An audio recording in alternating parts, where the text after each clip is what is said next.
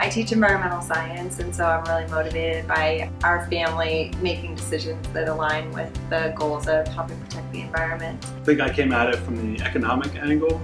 Our biggest concerns were costs and aesthetics. We actually sit down with the customers, go over multiple system designs, panels, whether it be all black. It can really be more hands-on. It's a more educational approach. We went back multiple times till we got it the way we wanted it. We, we definitely didn't want any panels like on the front and we didn't, we were trying to keep them off this roof I think. Mm -hmm. Sunbug is a little more detail oriented. There's not one cookie cutter system uh, for, for everyone.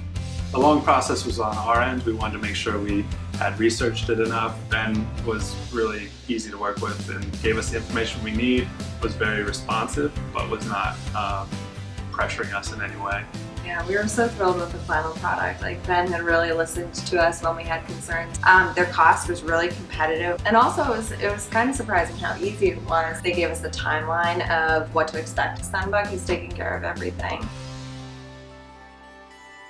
I think my my favorite thing is seeing how excited and proud people are to, to put a solar system on a house, which is um, good financially for themselves and, and also good environmentally.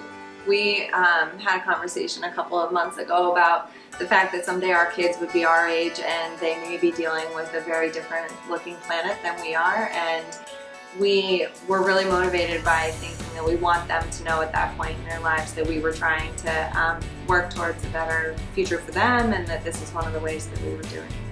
But they're noticing solar panels now too. Like we drive around town and they'll point out solar panels. And, and they're asking a lot of questions. How does it work? What does it mean to get energy from the sun rather than from fossil fuels or the earth. So I think it's interesting to them. Why did we go solar? Um, we could say it's the cost savings we'll see on our electric bill because it's a smart and responsible thing to do because it sends the right message to our kids. It wasn't just because it was right, it was also because of Sunbug.